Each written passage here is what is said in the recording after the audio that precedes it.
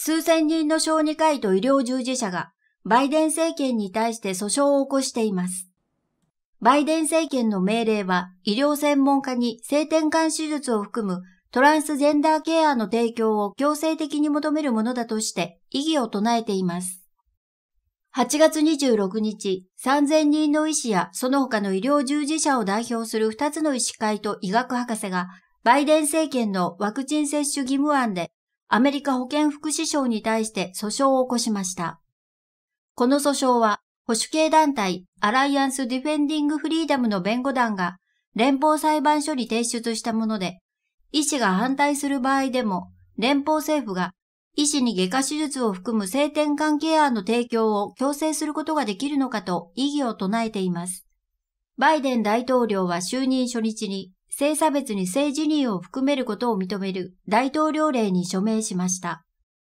アライアンス・ディフェンディング・フリーダムは声明で次のように述べています。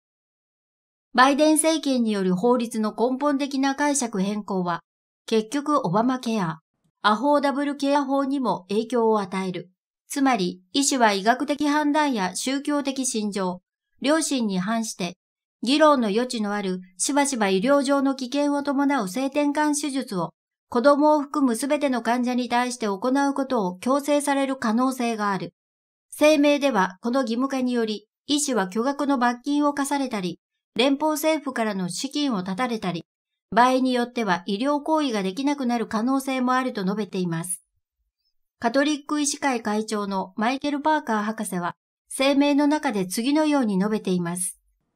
この命令によって私たちの患者の健康と安全が危険にさらされるだけではなく、事実上、医療従事者も良心に従って行動する基本的権利を放棄することを義務付けている。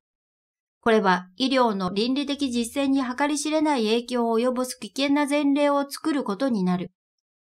パーカー博士は生物学的なアイデンティティが患者の治療の基礎であり続けるべきだとも述べています。